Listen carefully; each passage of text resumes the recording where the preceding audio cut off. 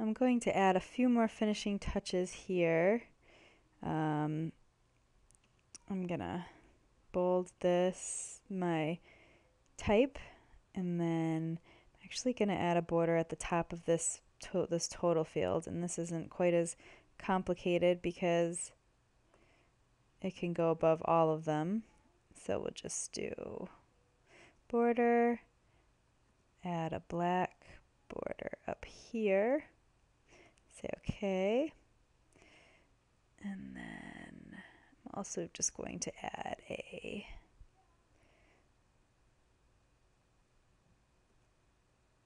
title.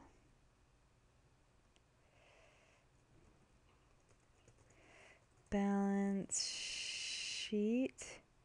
And then underneath that make that just slightly bigger. Oops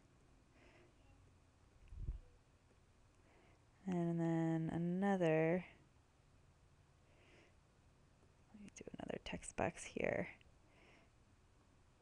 actually add my parameter my date parameter say okay and then format that as a date.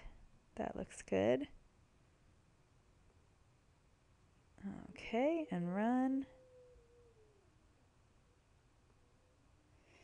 And there you have it. Actually, it looks like this isn't a double line, but if you actually export it or print it out, it does have the double line.